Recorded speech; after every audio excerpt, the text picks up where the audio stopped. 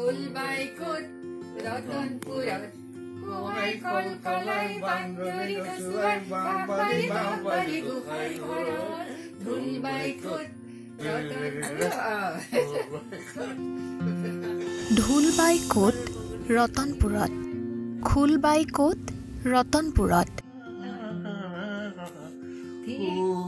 মামা ভাগিনৰ সংগীতৰ যুগলবন্দী। সংগীত হ'ব পাৰে মহৌষধ। এই কথাই যেন পুনৰবাৰ প্ৰমাণ কৰিলে এই মামা ভাগিনৰ যুগলবন্দীয়ে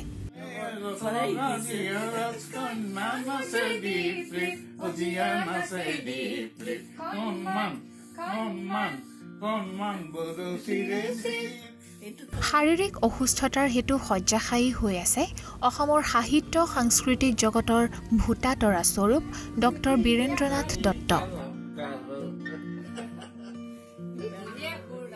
অসুস্থতাৰ সময়ছোৱাত গানৰ মাজেৰে লগ দিবলৈ এটাৰ পাছত আনটো মন পৰশা গীত গাই গ'ল কোকিলকণ্ঠী গায়িকা ডক্টৰ অনিমা চৌধুৰীয়ে।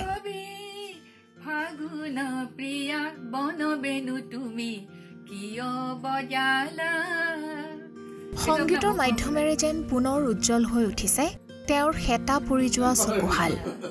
গানটো তেওঁৰ ওঠত বিৰিঙি থকা হাঁহিটোৱে যেন দিছে মানসিক প্ৰশান্তিৰ আভাস।